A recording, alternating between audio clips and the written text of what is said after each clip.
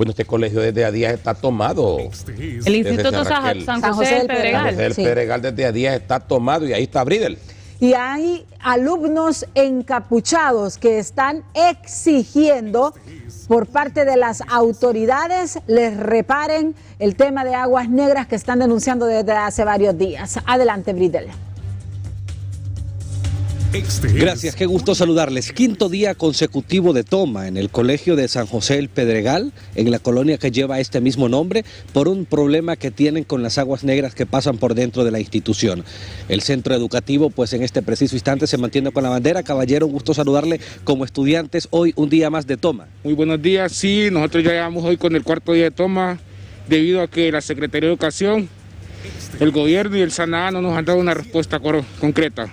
Ahora, amigo, ustedes en este punto pues han tratado de poder dialogar con las autoridades para establecer eh, una reunión y de esta forma evitar que los otros alumnos salgan afectados con la protesta. Sí, ya lo hemos hecho, no nos han hecho caso, la Secretaría de Educación vino aquí, lo único que nos ha dicho es que tenemos que reanudar clases, pero no podemos reanudar clases. Aquí al fondo, en los baños, hay un tufo eh, que son las aguas negras que no nos dejan recibir clases varias aulas tienen aguas negras y no podemos seguir con la situación. No podemos seguir sentando en las sillas.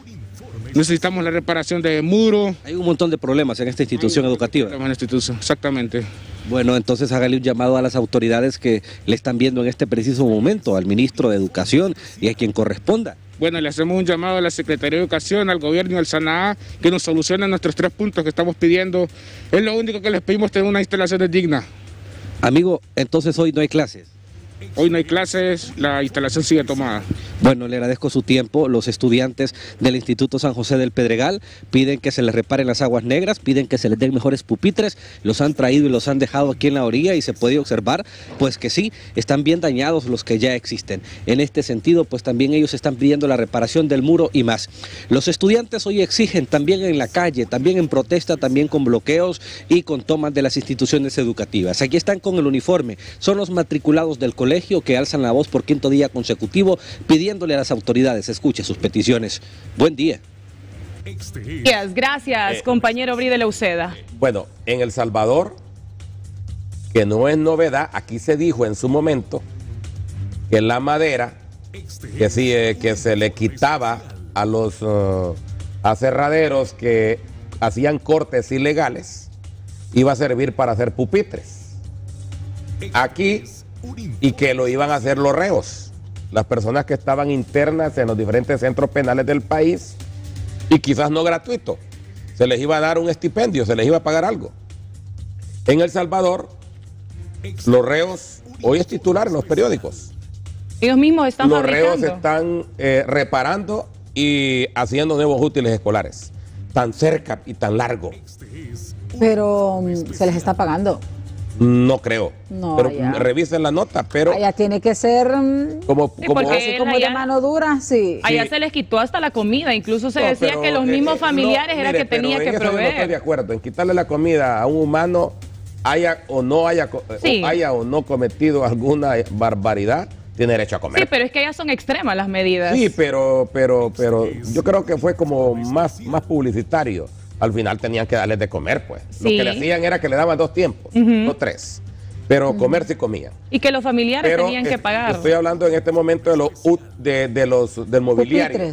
Y eso es cierto. En Honduras se derrocha y se bota mucho mobiliario malo que puede ser reparado. ¿Sabe qué es lo que se arruina? Eh, le digo porque conozco los pupitres. La estructura de hierro no se arruina, lo que se le arranca es la base o el respaldar que es de madera. Y a veces eso es lo que se destruye. Usted perfectamente, eh, el esqueleto del, del, asiento, del pupitre, el armazón, lo puede utilizar nuevamente.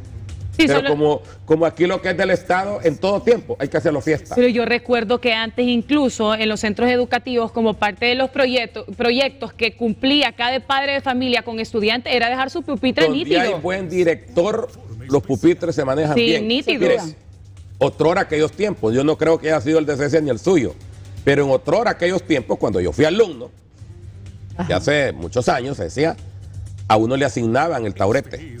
Y usted lo tenía que cuidar. es y, si no, y si lo manchaba, si lo arruinaba, era una responsabilidad suya desde inicio. Ahora pelean por, por una silla. y ocurre también en la Universidad Nacional Autónoma de Honduras. Y usted se va a los centros educativos y en las bodegas encuentra aquellos cerros de, de armazón, de, material, sí, de